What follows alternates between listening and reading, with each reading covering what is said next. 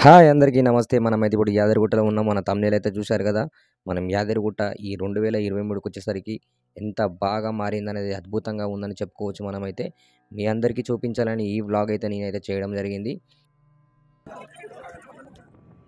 Warangal national హైవేలో ఉన్న మన బీబీనగర్ టోల్ ప్లేజర్ నుంచి అయితే మనం అయితే బ్లాగ్ స్టార్ట్ చేస్తున్నాం. మనం ఇక్కడ నుంచి బయలుదేరదాం. ఎలా ఉంది ఏందనేది అన్నీ తెలుసుకుందాం. మన పాత టెంపుల్ ఎలా ఉంది? మనకి ఇప్పుడు డెవలప్‌మెంట్ అయిన ఇప్పుడు కొత్త టెంపుల్ ఎలా ఉందనేది తెలుసుకుందాం మనం. ఎవరికి పాత టెంపుల్ నచ్చింది? ఇప్పుడు కొత్త టెంపుల్ ఎవరికి నచ్చింది అనేది మన కామెంట్ బాక్స్‌లో అయితే మెన్షన్ చేయండి. నేనైతే వన్ ఇయర్ బ్యాక్ అయితే వెళ్ళాను అప్పుడు ఇంకా గుడి కడుతున్నారు అప్పుడు ఇప్పుడైతే నేను వెళ్తున్నాను రెండు వేల ఇరవై మూడులో ఎలా ఉందని చూస్తాను ఇప్పుడు. మన తెలంగాణలో ఎన్నో పవిత్రమైన దేవస్థానాలు ఉన్నాయి. అందులో ఈ మన లక్ష్మీ నరసింహస్వామి దేవస్థానం కూడా ఒకటి. మన యాదగిరిగుట్ట ఎంతో పవిత్రమైన దేవస్థానం అని చెప్పుకోవచ్చు మనం. చాలా బాగుంటుంది. యాదగిరిగుట్టకి వెళ్తే మనశ్శాంతిగా ఉంటుంది మన అలాగే మనం వెళ్ళేదారిలో భువనగిరిలో ఉన్న మన శ్రీ రేణుక ఎల్లమ్మ తల్లిని అయితే దర్శనం చేసుకుందాం. కొబ్బరికాయ అయితే తీసుకొని లోపలికైతే వెళ్ళి అమ్మవారిని దర్శనం అయితే చేసుకుందాం. ఎంతో మనశ్శాంతిగా ఉంటుంది అమ్మవారిని దర్శించుకుంటే. చాలా అద్భుతంగా ఉంటుంది టెంపుల్ కూడా అమ్మవారు. లోపలికైతే వెళ్తున్నాను. మీరు కూడా చూడండి. మీరు ఒకసారి ఖచ్చితంగా ఒకసారి వచ్చి శ్రీ రేణుకెళ్ళమ్మ తల్లిని అయితే దర్శనం అయితే చేసుకోండి. చాలా బాగుంటుంది. మనశ్శాంతిగా ఉంటుంది. అమ్మవారు చాలా మహిమగల అమ్మవారు. చూడండి లోపలికైతే రండి. అమ్మవారిని దర్శనం అయితే చేసుకోండి. నేనైతే అమ్మవారిని అయితే మంచిగా దర్శనం అయితే చేసుకున్నాను. మళ్ళా తిరిగి మనం గుట్టకైతే వెళ్దాం. చిన్నప్పుడైతే నాకైతే గుట్ట అంటే గుర్తొచ్చేది పులిహోర ఒకటి, లడ్డు ఒకటి. ఎంతమందికి యాదగిరిగుట్ట పులిహోర అంటే ఇష్టం అనేది కామెంట్ బాక్స్‌లో కామెంట్ అయితే చేయండి. నాకైతే చాలా చాలా ఇష్టం. ఎస్పెషల్లీ పులిహోర కోసం అయితే నేనైతే పోతుండే గుట్టకు. చాలా బాగుంటుంది పులిహోర అంటే. మనకి ఇటువైపు లెఫ్ట్ సైడ్ అయితే చూసుకుంటే ఈ వే అయితే వచ్చి మన భువన్ భువనగిరి అయితే విలేజ్‌లోకి అయితే వెళ్తుంది.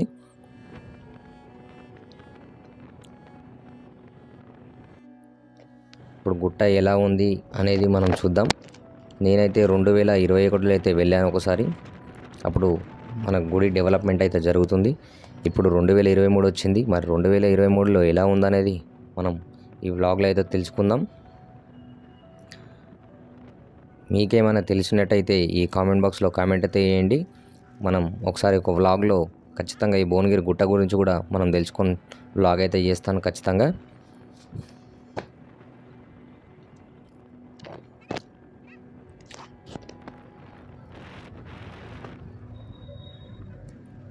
మనం ఆల్మోస్ట్ అయితే రాగిరికైతే వచ్చేసాం.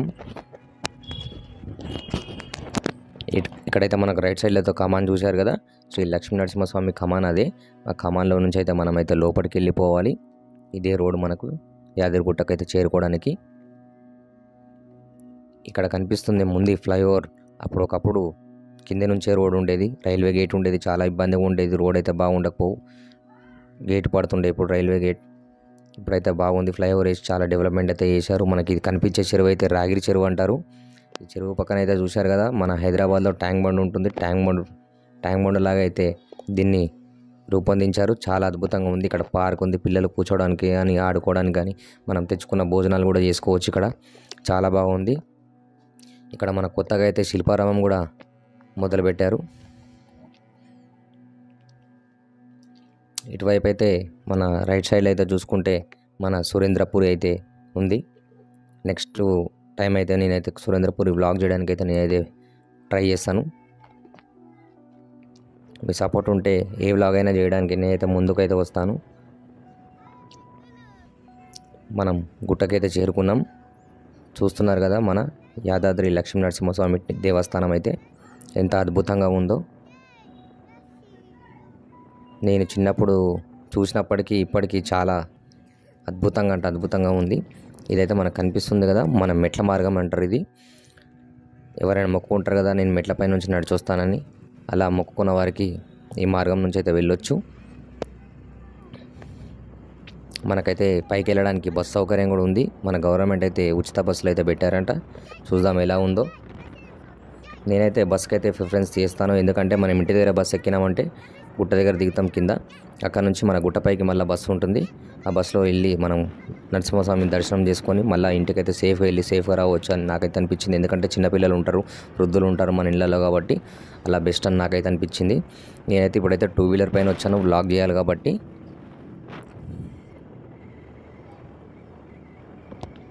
రోడ్స్ అయితే చూస్తున్నారు కదా ఎంత అద్భుతంగా ఉందో.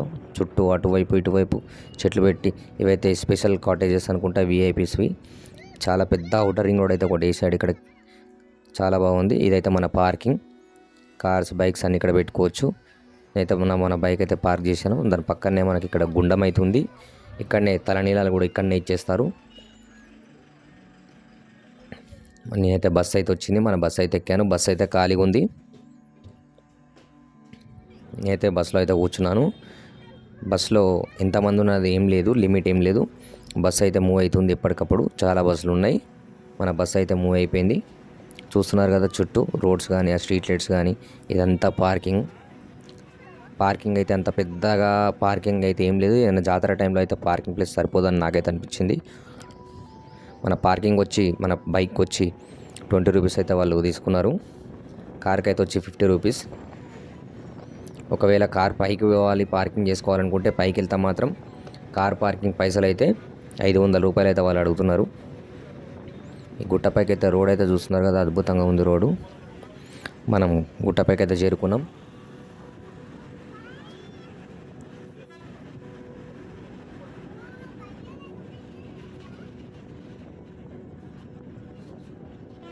ఇదే పార్కింగ్. కార్స్ చూశారు కదా ఇక్కడ ఒక్కొక్క కార్కి వచ్చి ఐదు వందల రూపాయలంట పార్కింగ్ ఇక్కడ.